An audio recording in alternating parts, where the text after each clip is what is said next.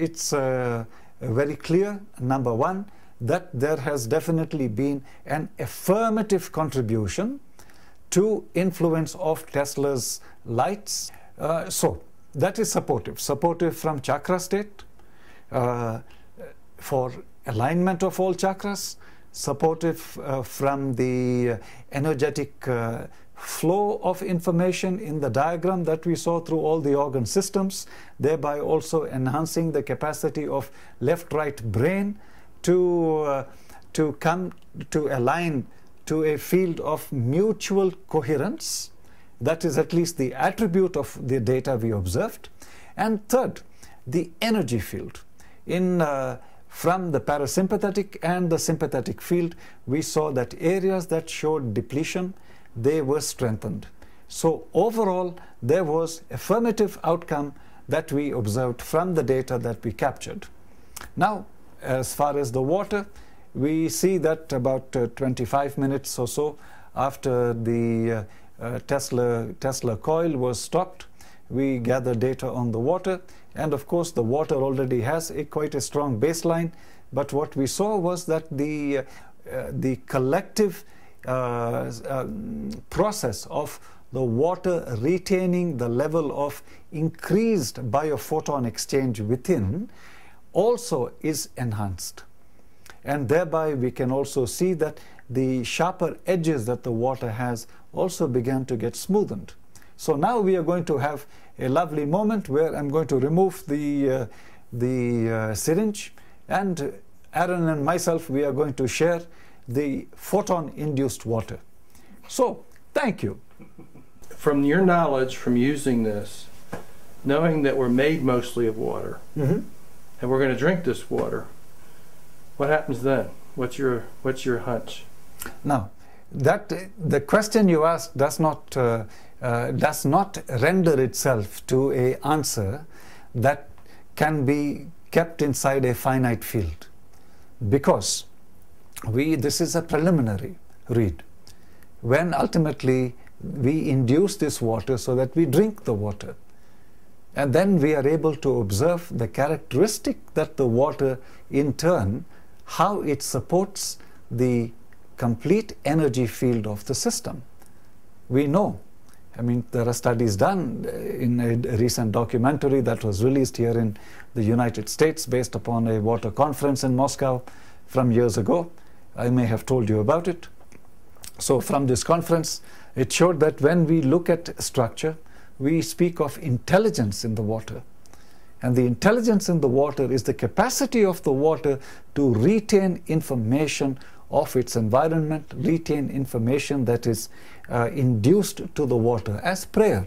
We've seen dear uh, Masa, Dr. Masaru Emoto-san has really paved the way for a broader outreach to enhance the global, um, let us say, consciousness project to recognize we are water, our thoughts influence the water within us. Now we are dealing with some strong factors we are dealing with certain levels of wave frequencies from the Tesla from the Tesla lights. So then how the how the water, the retention of the information drunk by people, how does that also support the energy field? So what we are looking at is some longer process of application to which to really look at it from a deeper level, let's say a clinical a clinician a researcher, a practitioner can follow a group of people as a, as a pilot study to induce water like this in a 10 minute cycle. Water where you have a baseline and then you do a baseline of the person or the subjects who are, who are participating in the study. Have them drink this much water. And by drinking this much water, 20 minutes later, again, calibrate and look at the data. And we've done uh, lots of studies like this with uh, uh, structured waters that we will call now intelligent waters. And we've seen uh, very uh, affirmative outcomes, especially when it comes to the um, organization of the hemispheres in the brain, organization of the capacity of uh, the sympathetic parasympathetic fields to um, be to be propelled in, in, a, in a manner that is very conducive, thereby minimizing the level of uh, inertia or the level of resistance, because now the flow inside the field, the energy field, will uh, have less um, impedance to it. So these are all these are all favorable attributes to explore. And if we see that it does support the uh, human energy field, and we are predominantly water, so if we do are able to do this with water, then we can address some uh, greater questions to life.